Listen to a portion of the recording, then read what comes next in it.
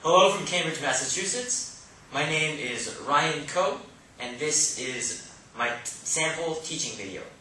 I'm going to be going through an example AP statistics problem on hypothesis testing. So now that we know the different versions of hypothesis tests, let's go through an example where we'll have to select the test and then apply it to get a conclusion from an actual real-life situation. Let's look at the problem. A cigarette industry spokesperson remarks that the average level of tar in cigarettes across the industry is 5 milligrams. A reporter wants to test these claims. He selects a simple random sample of 15 cigarettes and finds the mean to be 5.63 milligrams per cigarette with a standard deviation of 1.61 milligrams per cigarette. So this is an example of a hypothesis test where we need to test a sample mean against an unknown population mean. Now the hypothesis from the cigarette industry spokesperson is 5 milligrams. So, the first thing to do in a hypothesis test is to state the hypothesis. We learned that the null hypothesis is the hypothesis that's true until proven wrong. So let's write the null hypothesis now. The null hypothesis H naught is going to be the claim of the cigarette industry spokesperson. So, that mu is less than or equal to 5 milligrams. The alternate hypothesis is the hypothesis that we're trying to test for. In this case, that's the reporter's hypothesis. So let's write that. The alternate hypothesis is that mu is greater than 5 milligrams. So that's the alternate hypothesis. Now we need to pick our statistical test.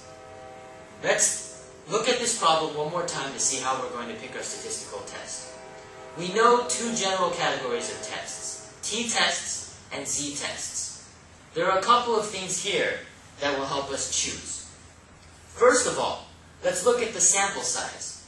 The sample size is n equals 15. That's the sample that we have.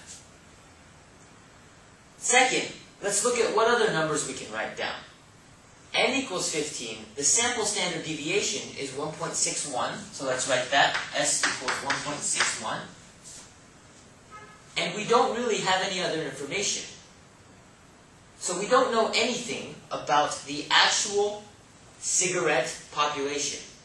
We don't know the actual mean, that's what we're testing for. But more importantly, we don't know sigma, the standard deviation of that population. So sigma equals question mark. This is a value that we don't know and we can't do a z-test without. So, because we don't know sigma and that the sample size is less than the value of 30, remember, at the value of 30 we can approximate t distributions to look like normal distributions. Since we don't have n equals 30, we need to use a t-test for small samples. So now let's go on and do this problem out. The first thing we need to do is to talk about the conditions that we need to use a t-test. First, we know that we have a random sample because it's given in the problem. The second condition is that the data is normally distributed. Now, unfortunately, this problem doesn't tell us anything about the distribution of the data from those 15 cigarettes. So, to continue with this problem this way, we'll have to assume that. So, let's write that assumption down.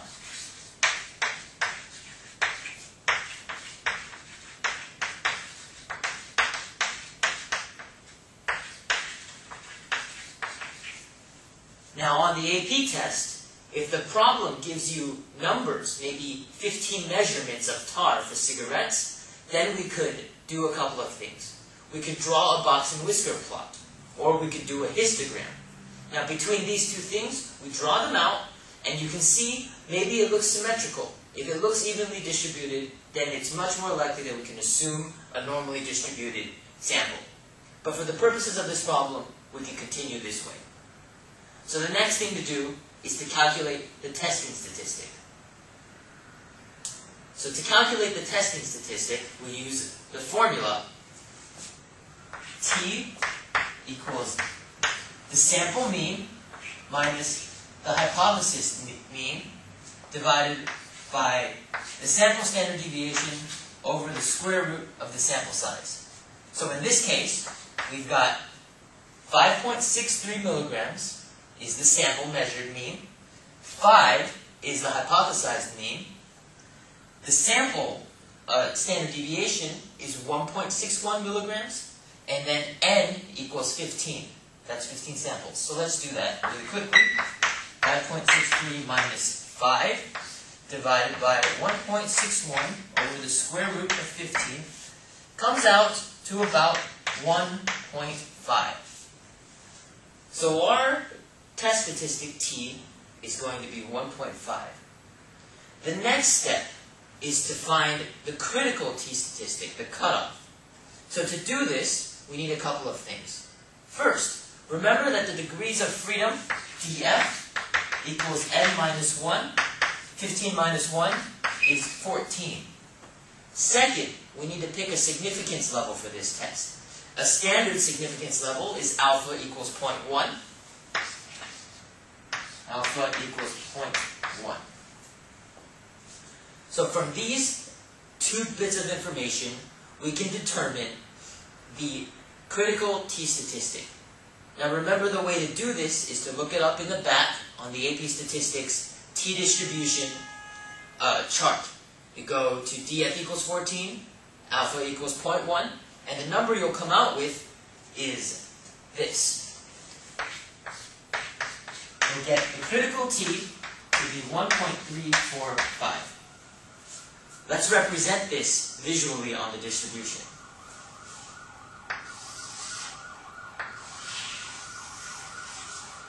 So if this is the t-distribution with df equals 14, 10% of the area under this curve is going to be at this critical t-value of 1.345. So that's going to be about right here. Remember, what that means is that if our test statistic t lands in this area over here, it's in this area over here, then we can safely say that these results at a 90% confidence level are due not to chance, that they're statistically significant. So, this is the test statistic that we calculated of 1.5. So drawing that up here, that's going to be about right here, 1.5. So because of this result, we now have enough information to state our conclusions. To state our conclusions, we need to look back at the hypotheses that we came up with. So, let's write a couple of things down. First, we'll write that 1.5 is greater than 1.345. That means that the value we've gotten is in the critical area, the shaded area over here, and because of that, we can reject the null hypothesis. We can say, reject H naught, and because we reject the null hypothesis, we also accept the alternate hypothesis.